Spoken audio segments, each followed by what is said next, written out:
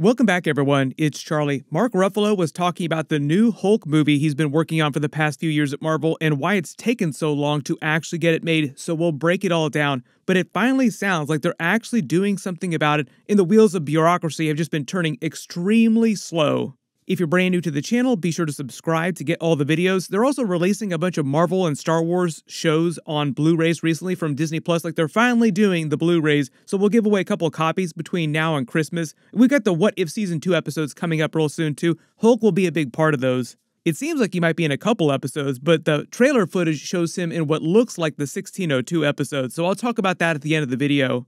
They got a bunch of Hulk related stuff happening, especially in Captain America 4, which is going to be coming out in 2025 now. But recently, Mark Ruffalo was promoting his new movie, Poor Things, and talked about all these Hulk solo movie things that apparently Marvel told him he's not supposed to talk about, giving that full spoiler bros energy. Once a spoiler bro, always a spoiler bro. This is the clip of him talking about that Hulk movie he's been working on. I gotta ask you about the Hulk. NBC Universal and Disney recently made a deal for Hulu. We know the Hulk movie rights for a standalone picture have been kind of complicated. Has that changed anything? Um, I've been asked not to, not to comment on it, um, that specifically. Uh, I mean, hopefully one day they'll, they'll they'll work it out. I think it would be, I think it could be really cool, and I've been th- putting a lot of thought into what it could be to be cool. So the way he talks about it, he's got that next Hulk movie figured out for the most part, and the only thing that's still holding them up from actually rolling cameras on it is the ongoing legal problems between Marvel, Disney, and Universal.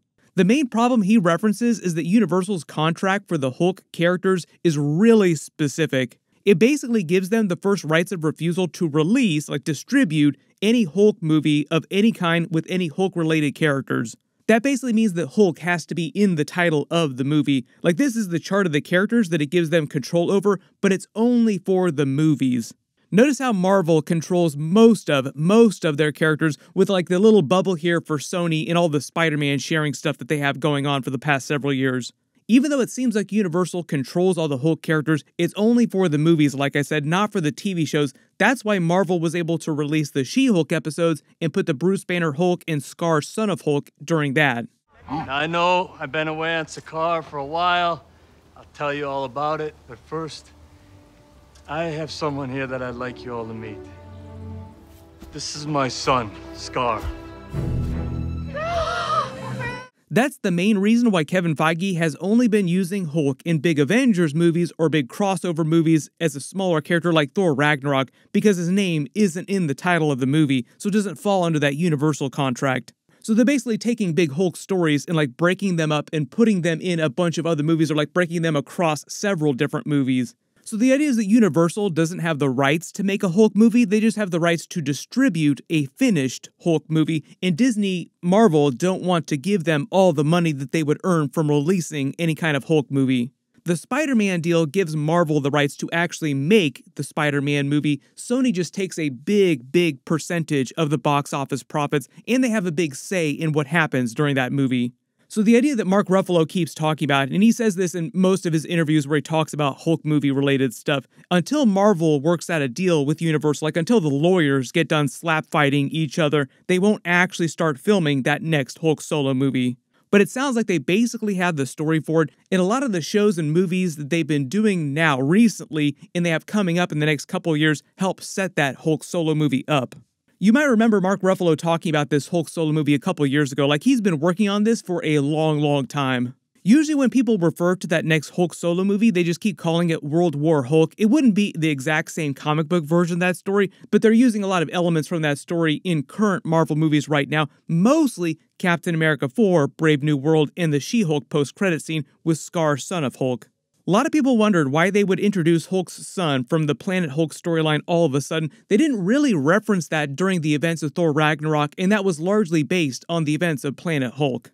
The whole idea is that there was this missing period of time, like about a two year period of time, that Hulk was only Hulk and Banner's personality was subsumed and really wasn't aware that much of what Hulk was doing for that whole time period. And that was when Skaar, son of Hulk, was conceived and eventually born. So that's why Banner was able to come out during the events of Thor Ragnarok not knowing that Skaar existed. But a lot of people at the time of this She Hulk post credit scene are like, is this for a Young Avengers setup? Like, is Skaar going to be on that team that Kamala Khan's Miss Marvel is putting together more recently we saw? Is he going to be in Captain America 4 as part of the Red Hulk Thunderbolt Ross storyline? At the time, the report is that they introduced Skaar with the intention of paying off his storyline in the next Hulk solo movie, like way further down the road. Mark Ruffalo said that he'll keep playing the Bruce Banner Hulk as long as Marvel will have him too, but I think part of the idea is that they're building out the Hulk universe of characters from the comics, wanting to go deeper on the Hulk family in future movies and TV shows. And it's not like they're going to put Mark Ruffalo's Bruce Banner Hulk in like 10 different movies and series all at the same time, so you just need more of those Hulk related characters. That's why they're finally doing Thunderbolt Ross Red Hulk during Captain America 4. They kind of set up that storyline even starting as far back as the Incredible Hulk Edward Norton version of the movie. God damn it, I want what's inside I am!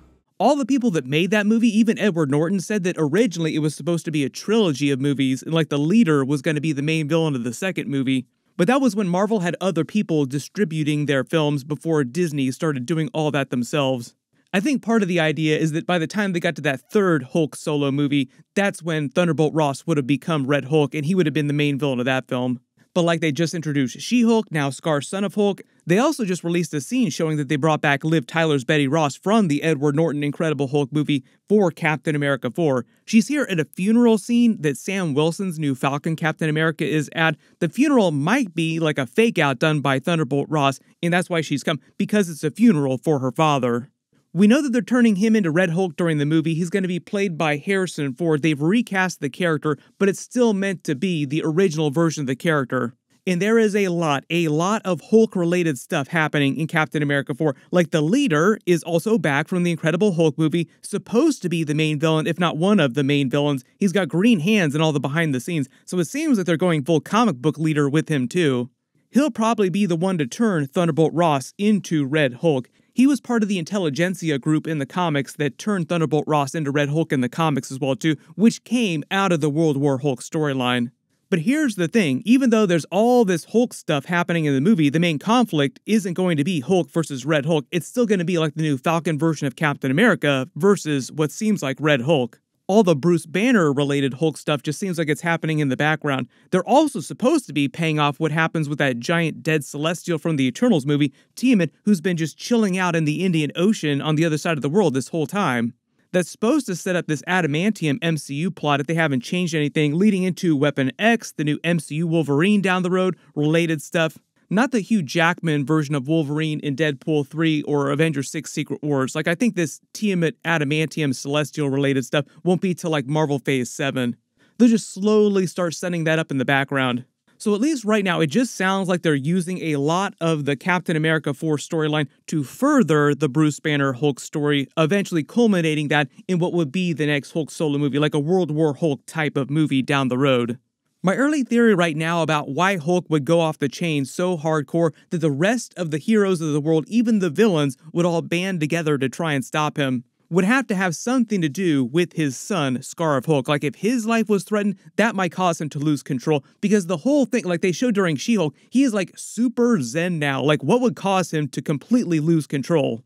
I think they tried to tease that a little bit during She Hulk, like they fought a little bit during that first episode, but it still seems like he is totally zen right now. Like something would have to happen to Skaar for him to completely lose control. My early assumption right now is that unless something really big changes behind the scenes with Marvel and Universal the next couple years, we probably won't see that next Hulk solo movie until after Avengers 6 Secret Wars sometime during Marvel Phase 7. But here's the thing as much as that sucks, that means that we will be able to see a Hulk versus Wolverine movie too, because by that time, we'll have all the core X Men characters, we'll have all the Fantastic Four characters. So if they also want to make a mini Avengers movie of it and do like a bigger World War Hulk style movie, they can actually do a more comic book accurate version of that with the Sentry character, with the Fantastic Four, with him spanking all the X Men characters. It'd be way harder for them to do that if they were to do that solo Hulk movie before Secret Wars. But let me know in the comments what kind of stories and characters you want to see in that next Hulk solo movie. The other real big reminder is in a couple weeks we'll get the What If Season 2 episodes. Like I said, all the trailer footage of Hulk seems like it's from the 1602 episode, but he might be in a couple episodes.